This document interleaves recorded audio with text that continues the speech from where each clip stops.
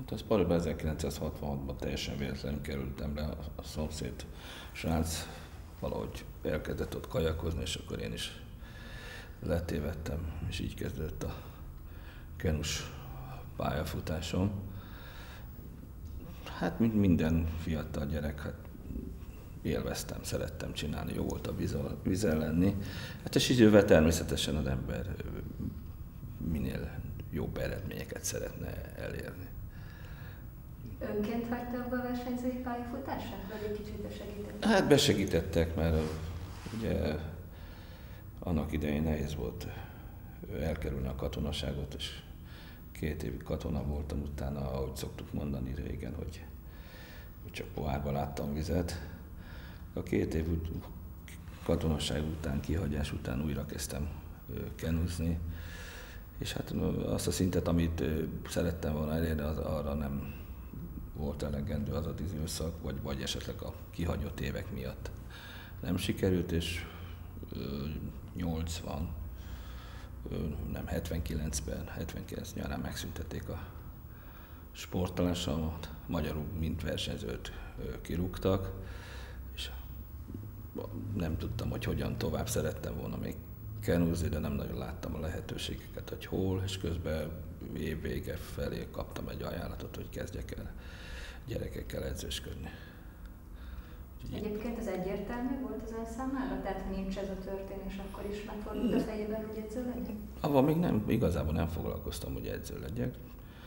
Mondom, mondom, váratlanul ért ez a felkérés, és akkor egy rövid gondolkodás után elvállaltam. Tehát akkor azt mondtam, hogy mint versenyző befejezem a kenozást.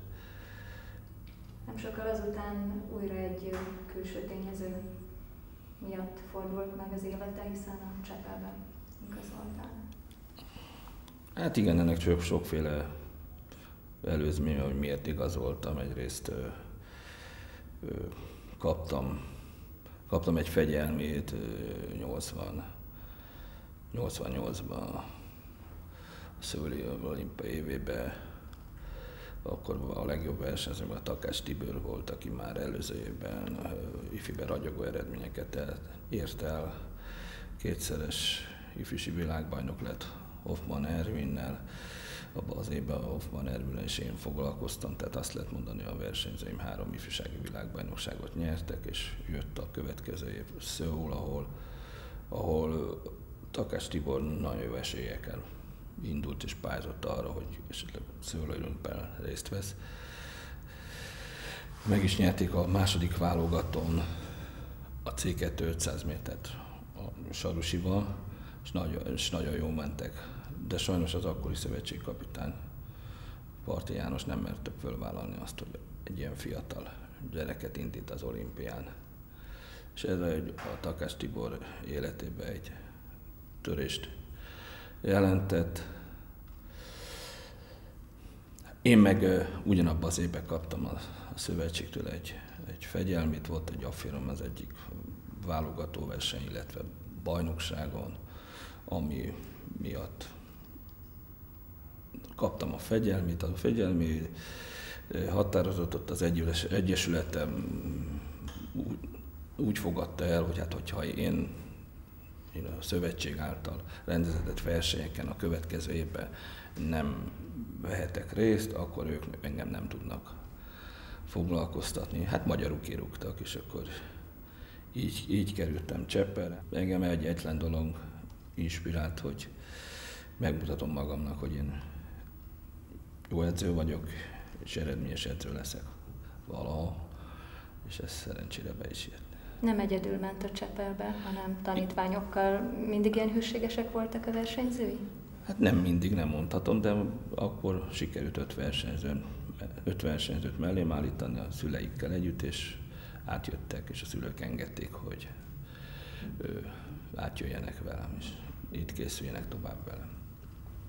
Vannak olyan edzők, akiknek az élete, a pályafutása szinte összeforr egy-egy versenyzőjével.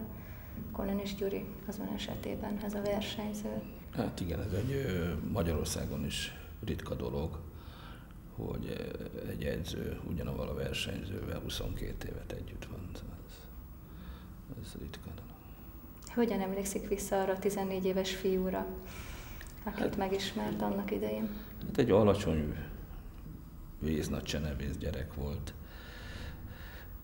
De viszont jó, jó mozgású, és, és már akkor látszott rajta, hogy szorgalmas, szereti a kenúzást, és, és mindent, a, mindent csak, a, csak a kenúzás számít szinte neki. Mit gondol, hogy mit tette őt igazán nagy klasszissá? Hát egyrészt az, hogy amit már említettem, hogy nagyon ügyes srác volt, technikailag nagyon jól, jól kenuzott, és egy nagyon akaratos, szorgalmas gyerek volt, és későbbiekben ez, ez, ez profi versenyzővé vált, ami, ami szintén a, a, a, a javára fordult az egész. Tehát nagyon céltudatos és sikerorientált ember volt. Edzőként hogyan élte meg az első olimpiai győzelmet? Hát az fantasztikus volt, tehát ezt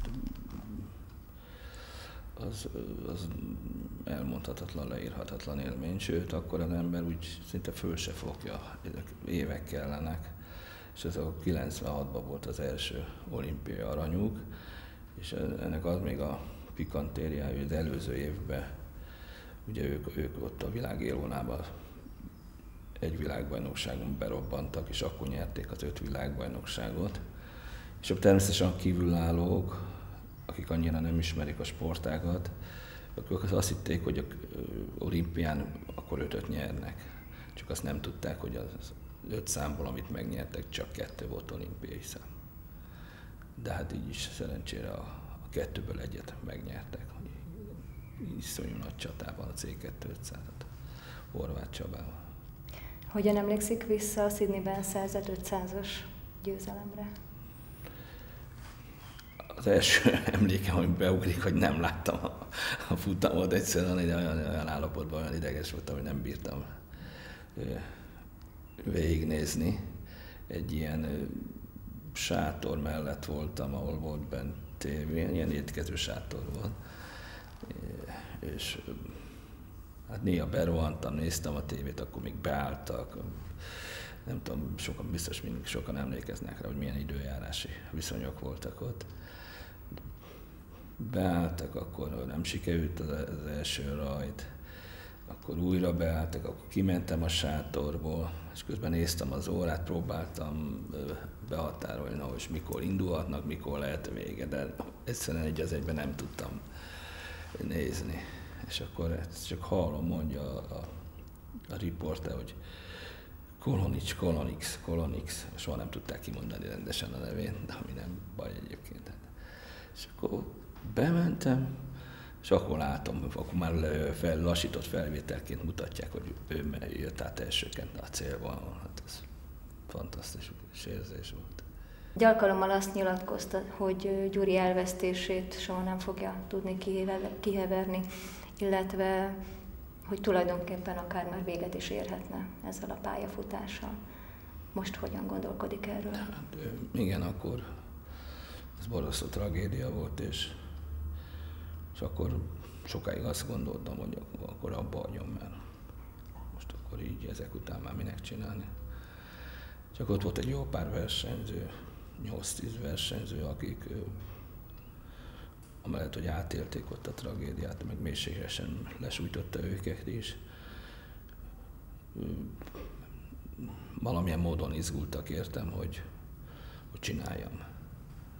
Tehát ők azt szerették volna, hogy én csináljam, dolgozzak velük tovább. És akkor végül is úgy döntöttem, hogy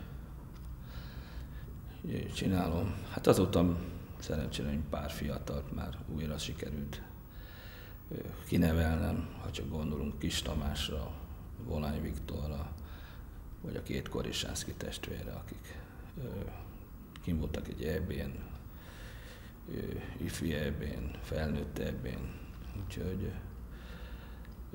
van egy-két gyerek, a, akikért érdemes csinálni.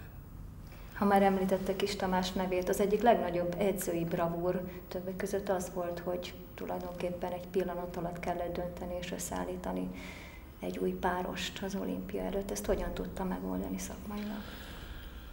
Hát igen, ez egy nem egyszerű kérdés, már csak arra gondolunk, hogy ugye az előző olimpián Aténban Kolonics Kozman páros harmadik lett. És az a harmadik hely, szintén harmadik lett, a harmadik helyér ők két és fél évet dolgoztak. Szóval olyan érdekes az, hogy, hogy az élet miket produkál, amikor rövid az idő, akkor, akkor tényleg szakmailag nagyon föl kell építeni, hogy abból a helyzetből a legjobban jöjjünk ki, és hát ez nem volt egyszerű. Egyrészt a Gyuri halála után én se tudom, hogy, hogy honnan vettem a bátorságot, vagy az erőt arra, hogy, hogy a halála után egy nappal arról kellett beszélni a Kozman Gyurival, hogy menni kéne, csinálni kéne, indulni kéne az olimpián, mert ez a Kóló emlékének is nagyon jó lenne. Persze természetesen a Kozman Gyuri az első szóra, az volt, hogy hát elutasítom, hogy nem, nem, miért, miért, kivel, hogy, minden, és akkor így lassan elmondtam neki az elképzelésemet, ami már bennem érlelődött, de azt mondtam neki, hogy gondolkodjon rajta két napot, és pénteken kell, hogy választ adjon, mert szombaton név szerinti nevezés van. Tehát minket az idő nagyon sürgetett. És akkor jött a másik probléma, ami az, az sem volt egyszerű, hogy a kis Tamással közölni ezt, hogy figyelj, te fogsz indulni az olimpián. Az első reakció azt mondta, ne, ne, Robi, ne, nem, én nem akarok. De mondom, te fogsz indulni, gondold el te is, kapsz egy napot rá, de senkinek ne szólj erről, még otthon se.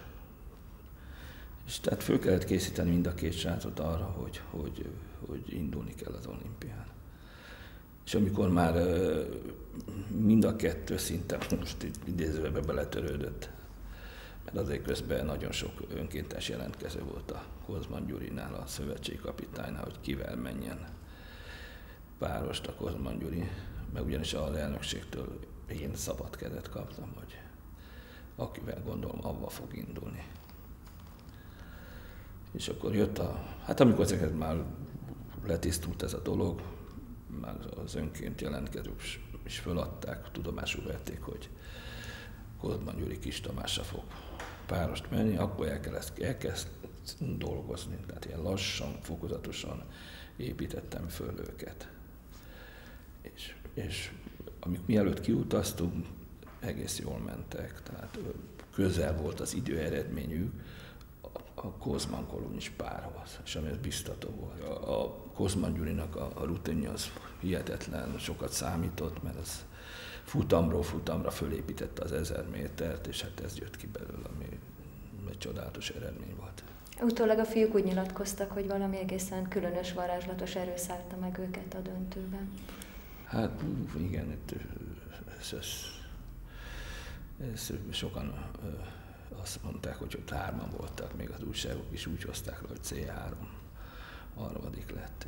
Amikor elkezdtem edzősködni, akkor azt gondoltam, hogy, hogy nem kell nekem sok mindenhez érteni, és ha ezt az edzőséget szeretem és csinálom, akkor maximálisan, akkor száz százalékkal oda teszem magam, és, és nagyon akartam a jó eredményeket, a sikert. És ezért ezt következetesen, profi módon mindig, mindig mindenhol megcsin, megtettem. És azt, ezt mai napig is szeretem, hogyha vannak olyan versenyzők, jó, és ezt nem csak, hogy szeretem, jó érzés is, hogy vannak olyan versenyzők, akik a kezem alatt ifi szintre, vagy junior szintre, vagy felnőtt szinten kiváló eredményeket érnek el. Mi a véleménye a női kenóról? A női kenó? Hát még furcsa. Még furcsa, a női kenó még tele van a kezdetleges hibákkal.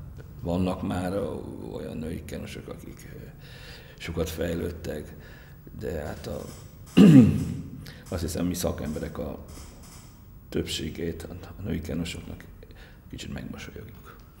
De majd ez idővel biztos kialakul, majd jobbak lesznek, technikailag főleg, úgyhogy fizikailag. Van még valamilyen Kiri az edzők közül, házas emberként tudta végigcsinálni a hosszú évtizedeket ebben a sportágban. Ez nem éppen edzőbarát tevékenység, mi a titka ennek? Igen, hát úgy gondolom, hogy a feleségem egyedül a, tit, a titok nyitja, mert a feleségem elviseli az én hülyeségeimet, a munkámat elvisel, mint, mint ember, akkor ez tényleg csak az ő, ő, ő javára illandó ez az egész történet.